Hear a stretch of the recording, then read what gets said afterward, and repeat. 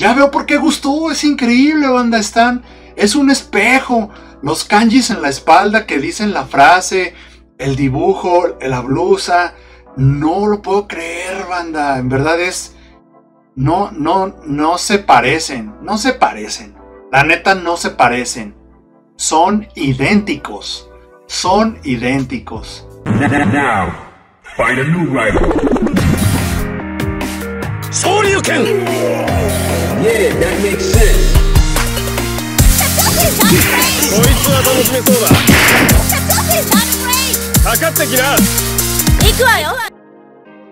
Ah, ese poder, comunidad. El poder, comunidad. Bienvenidos a Junchuruken.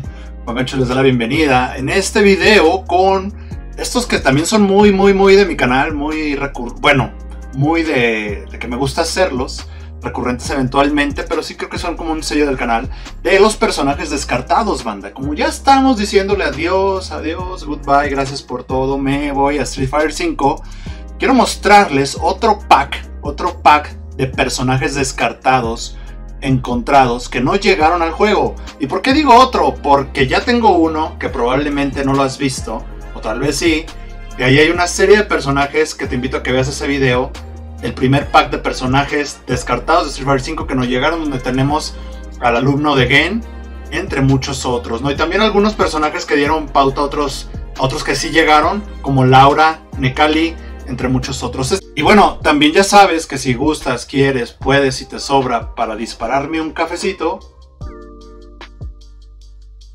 mm, me puedes apoyar en la plataforma de Coffee, en mi plataforma de Coffee, te puedes unir a mi Patreon y los links para que todo esto van a estar en la descripción del video y en el comentario fijado del video. Entras ahí, para un millón en un cafecito, de compas, por estos, es por tu chamba, carnal, por esto u otros videos que te gusten de, aquí de mi contenido. Comparte el IKEA y todo ese número de cosas. Así que vamos. ¡Qué chido, banda! Ok, comunidad, vamos a empezar con esto. También saben que, este, bueno, ese, ese, sé que también debo ahí contenido de KOF personajes descartados de KOF ya está en el 94, 95, vamos a la 96. Pero ahorita había que, soltar esta información. ¿Qué es esto, comunidad? ¿Por qué empezamos con, este kanji aquí a todo lo que da su máximo esplendor? Este kanji directamente es como la situación de introducción de la presentación de los personajes rechazados que finalmente no fueron aceptados en el juego Así que con esto empezamos porque vamos a encontrar una gran variedad de personajes a continuación. Y muy bien comunidad, vamos a empezar. ¿Quién es este muchacho? ¿Quién es este camarada? ¿Quién es este compadre? Saben que aquí siempre hay investigación y la investigación es la siguiente. Este es un personaje que Capcom trató de introducir como en alguna información que se encuentra sobre él, tenemos que es un personaje de la India. Si bien nos puede llevar un poco a personajes de Tekken. Personajes que probablemente no son muy recurrentes en el roster respecto a su nacionalidad más allá de Dalsim. Pero Street Fighter V tenía contemplado, tenía considerado y tenía ganas de incluir a este conocido como el personaje de la India. Aparentemente lo que alcanzo a ver, a mí me agrada, me agrada. Yo sé que ya tenemos el chip de Street Fighter 6, donde los gráficos nos han revolucionado todo. Pero yo sí lo veo con los gráficos de Street Fighter 5, musculosote desproporcionado. Sí veo que este cuate hubiera podido haber llegado al roster. Creo que eso también es importante. Este, dentro de esta investigación que ustedes mencionen, si lo veo en Street Fighter 5 o no lo veo en Street Fighter 5. Yo creo que este, todos son personajes nuevos que no llegaron. Pero este yo creo que sí hubiera, hubiera tenido ahí un lugarcito. No sé ustedes cómo lo ven, comunidad. Así que vamos a pasar a otro personaje. Muy bien, comunidad. ¿Quién es él? Este es un personaje que tiene un poco más de información, cuyo nombre le han, le han puesto el nombre de Shin. Entre algunos datos que se encuentran sobre él es que es un luchador también de la India que puede bailar y cantar. Alguna información adicional sobre este personaje es que es un actor súper popular que protagoniza más de 100 películas por año. Creo que aquí era una intención, ya sé quién se les vino a la mente, Fei Long, Fei Long Vibes. Y eh, eh, un poco más de info es que su historia gira en torno a sus enfrentamientos contra otros luchadores alrededor del mundo. Su sueño está protagonizar una película junto a Fei Long. Está obsesionado con la ropa blanca y los calcetines. Su estilo de pelea es llamativo como una película de acción y usa varios objetos como palos, ropa, perchas e incluso bicicletas, banda. Incluso bicicletas. Les voy a decir particularmente que cuando dices Feilong y crearle la, la antítesis a Feilong, el némesis de Feilong, a mí se me hace que es una, un personaje que habría tenido potencial, ¿eh? Creo que incluso me da, les traigo este contenido ahora porque me da curiosidad si Street Fighter 6 retomará algunos de estos, de estos trabajos que descartaron en el 5. Como el alumno de Gen es algo que sí es súper llamativo. De hecho, también hasta en los personajes descartados de Street Fighter 4 por ahí hay un diseño muy famoso de Abel. Que cómo iba a ser Abel. Luego, si quieren, les traigo eso a los personajes descartados del 4. Pero díganme qué les parece este personaje con la información que les agrego, la, historia que tiene de, que su sueño es ser, llamar la atención de Fei Long y algún, algunos datos adicionales sobre su estilo de pelea y los elementos que usa. ¿Lo ven en Street 5? Bueno, ya esa no es la pregunta. ¿Les habría gustado verlo visto en el 5? ¿Se les hace atractivo el, en sí como diseño de personaje? Déjenme en los comentarios. Se, sería Jackie Chan bueno, pues en sí, Fei Long, Bruce Lee, este personaje, Jackie Chan, ¿no? Tal vez. Vámonos a otro personaje, comunidad. Siguiente personaje, comunidad. Vamos, estamos entrando en calor. ¿Y quién es? ¿Cómo? ¿Qué le conocemos a ella?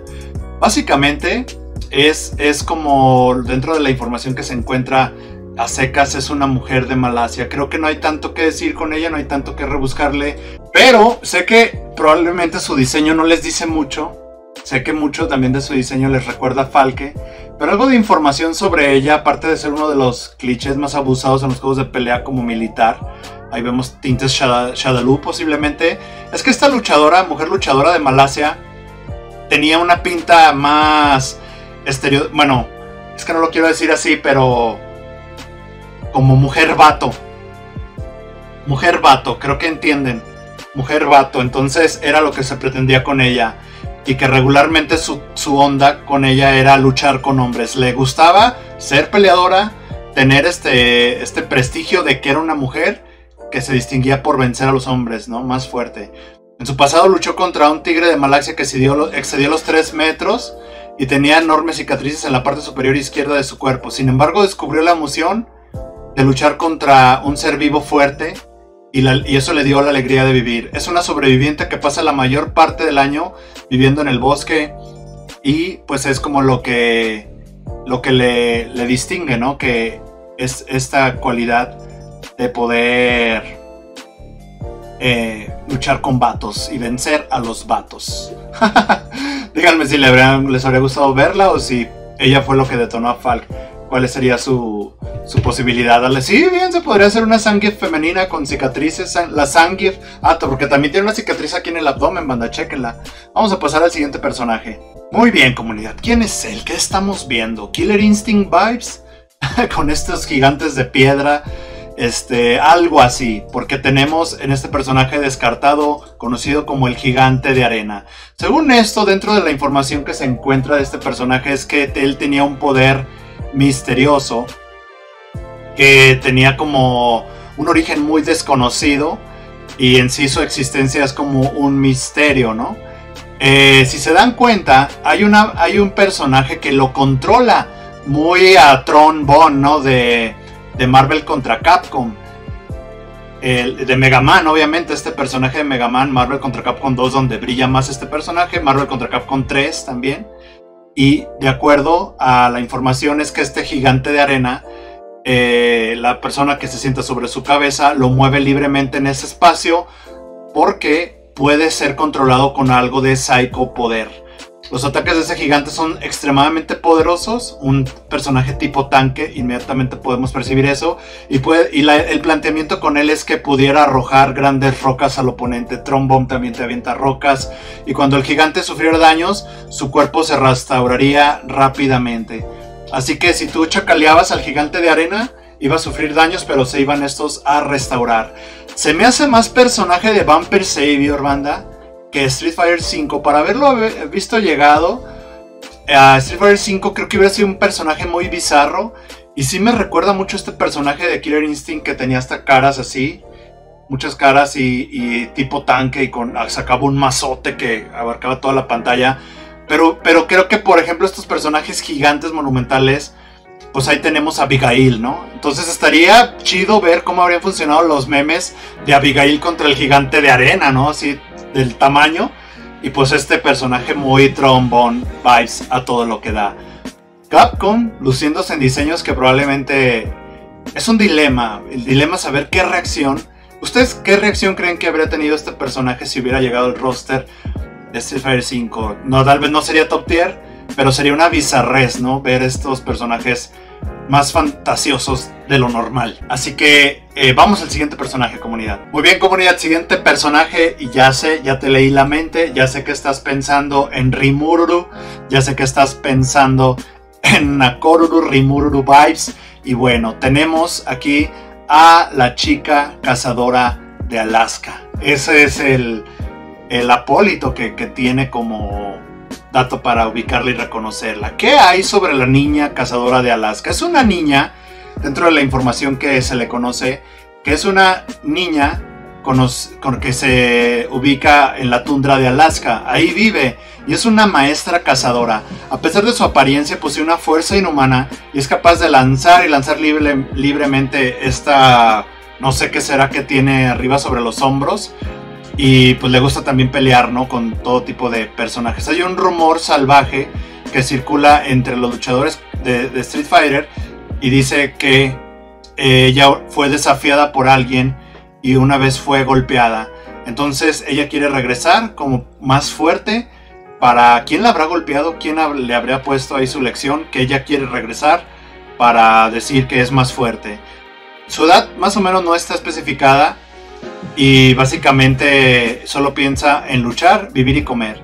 En consecuencia, también contra luchadores más oponentes, particularmente encontrar a ese que la venció cuando era un poco más niña. Ella es también un personaje que le agradece mucho a la tierra y a todos los seres vivos, Nakoruru Vibes. Vive con su padre, cinco hermanos y todos en esa comunidad, en la tundra de Alaska, son cazadores igual que ella comunidad. Y pues ahí pueden ver cómo es que este es fuerte. Al ser de Alaska se dice que es fuerte. Para ser chiquita es fuerte. Y se ve cómo tienen, es el dígito 9, el poder como que tiene de sacudirte y pegarte con esto que está cargando que no logro distinguir muy bien que sea. ¿Qué creen que sea, banda? Díganme este, qué opinan de este personaje, qué vibra les da. ¿Les habría gustado verlo en Street 5? No recuerdo, salvo Colin, un personaje de hielo, de Alaska Vibes, de la tundra, como tal en Street Fighter. Pero tiene esa mano, ¿no? Tiene ese toque, ese toque de la hechura de Street Fighter que probablemente estuvo a nada de poder estar aquí. ¿Qué es lo que opinan de ella, banda? Así que vamos, déjenme en los comentarios y vamos al siguiente personaje. Y muy bien comunidad, aquí tenemos un personaje más. Yo sé que probablemente la mayoría de ustedes estén diciendo, ¿qué onda? Si ya lo pasaste, nada más se quitó el chaleco y el camuflaje en vez de traerlo la blusa, lo traía en el pantalón. Pero no, parece ser que sí es un personaje muy diferente, muy distinto. Inclusive tiene hasta algunos datos informativos cuya historia está un tanto interesante. Esta es como una investigadora en la cocina, pero muy particular. Les explico por qué. Ella es una mujer salvaje que mata con las manos desnudas a todos los animales para luego cocinarlos. Entonces, ella puede hacer que sus oponentes se desmayen debido a la gran fuerza que ha adquirido con esa actividad. Cuando ella era una niña, fue atacada por un oso gigante. Entonces, cuando vivió e-, esta situación y pudo superar todo este miedo, sintió que ese momento fue como un parteaguas en su vida y eh, después de todo esto pudo publicar un libro sobre su historia, pero más que nada como que ella pensando en el personaje el fuerte, eh, también tiene un blog público. Eh, contrario al personaje el fuerte que como que sus habilidades de cocina son más buenas, son más tranquilas, son más soft, más ordenadas, ella es como que habilidades de cocina más salvajes, más violentas. es como lo que, lo que se narra un tanto sobre esta historia, pero aún así con toda esa historia, me agrada, me agrada que el fuerte tenga como este personaje de contrapeso, este Némesis que también vimos al inicio del video con el, el que admira a Fei Long, el que quiere conocer, porque creo que estos personajes llegan para reforzar un tanto a estos otros personajes. Como por ejemplo en KOF 15 que está pasando de que metes a Luong con Blue Mari y con Vanessa pues para darle un poco de, de, fuerza al personaje, ¿no? Y estas estrategias son bastante funcionales, creo que, pero aún así el diseño siento que está medio pobre, pobre, pobre, eh, medio cliché, medio se pudo haber desarrollado más, medio se parece, la relacionamos con algunos otros, las cicatrices se parece bastante al anterior, solo como que con otro skin aunque aún así el fuerte tiene un gameplay único en su existencia, igual que el de Ángel, creo que no, no, o sea, no, bueno, por ejemplo, por ejemplo Shunei, Shunei que necesitaba un poquitito de push, se le agrega su contra, ¿no? Que, que es como Isla, su antítesis, un némesis. Aquí puede ser el, ese del fuerte, el fuerte todo amistoso, acá con alguien violento que también se mete en la cocina, pero la cocina salvaje. Pero no, o sea, me gusta la historia, más no el diseño de personaje mostrado. Ojalá, no sé, mejor díganme ustedes qué es lo que piensan y vamos a pasar a otro personaje comunitario. Y aquí tenemos, banda, dejé lo mejor para el final, así es, Buongiorno. Buongiorno es el nombre que tiene en su, en su equipo, escrito con kanjis. ¿Y por qué en italiano? Pues porque ella es una chica italiana. Aquí lo mejor para el final, banda, este personaje sí me estremece, sí lo veo por varias cuestiones, temas de diseño. Yo sé que muchos les están llegando las Yuri eh, Skin Contest vibes y ahorita iremos más para allá. Pero anda, eh, cheque nada más, miren, ella es una chica italiana que creció viendo anime, leyendo manga y se obsesionó con la cultura japonesa, banda. Su pasatiempo es el cosplay y ella produce toda su ropa sola. De entrada con leer eso ya tienes un nicho de mercado, un nicho de jugadores. Ya me imagino como su actitud, su manera de desenvolverse, siendo italiana pero fanática la cultura este, del anime, Japón, manga, cosplay, todo esto se tienes todo en uno.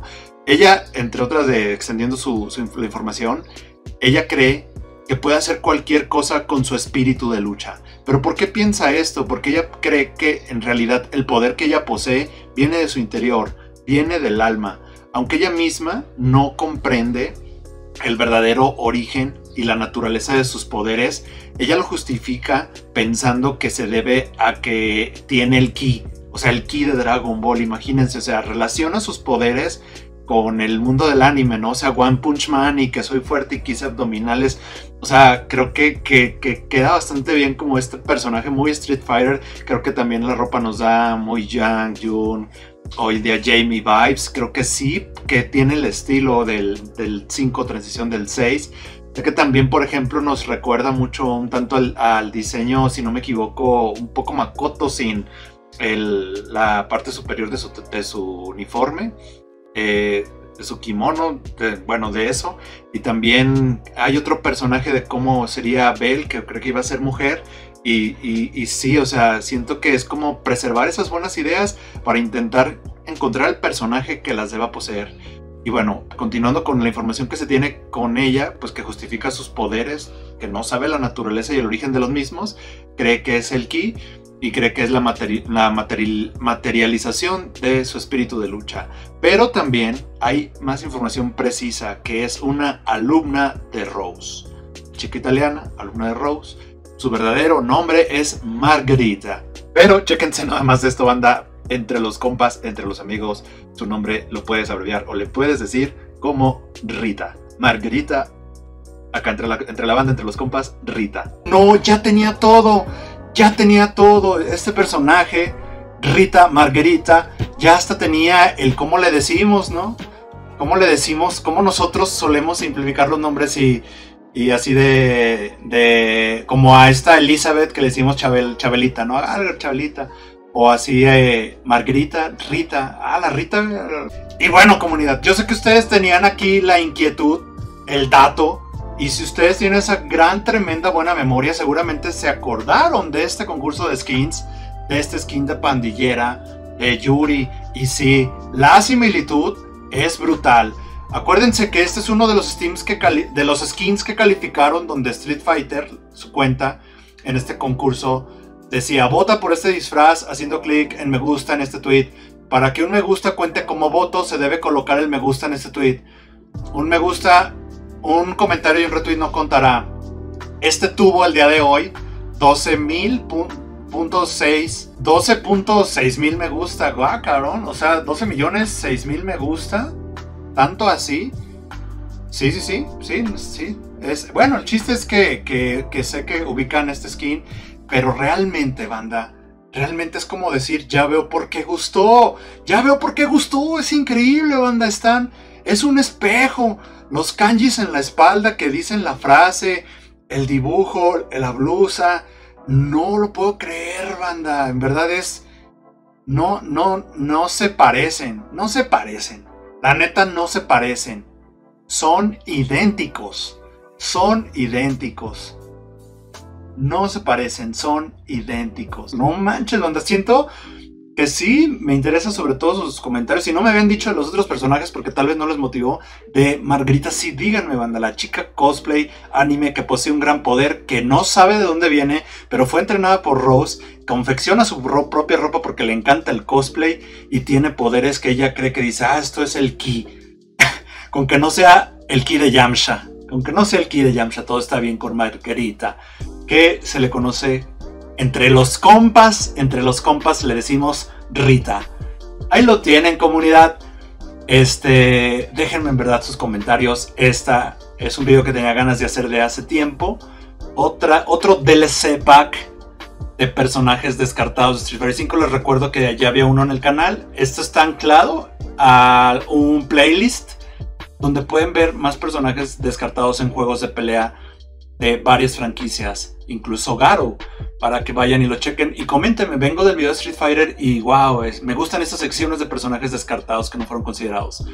Había que cerrar con broche de oro este, este set de personajes descartados, díganme su favorito. Sí, volviendo al pasado un poco, la pregunta es doble. ¿Cuál si habrían metido Street Fighter 5? ¿A cuál sacarían y, y cuál meterían? O bueno, no ¿Cuál de estos les habría gustado, le hubieran visto potencial en Street Fighter 5, les cautivó, les guiñó el ojo? Para mí ella. Si tengo que elegir solamente uno, Margarita. Acá entre los compas, Rita. Sería ella. En mi particular, sería ella. ¿Ustedes cuál es comunidad? Y también díganme si de estos diseños descartados rescatarían uno para Street Fighter 6. Creo que es la mejor dinámica que podemos hacer. Este, espero traerles más videos de personajes descartados, esta documentación, facts, nada ficticio, porque pues me laten estos datos de cultos, estas investigaciones. Así que espero sus comentarios, comparte el IKEA y todo ese N número de cosas, comunidad. Poder, que el poder del chorrio, el poder del chorrio a los personajes descartados de Street Fighter y de todos los juegos de pelea que veremos aquí en John me los cuide y acompañe siempre. Hasta la próxima, bye bye.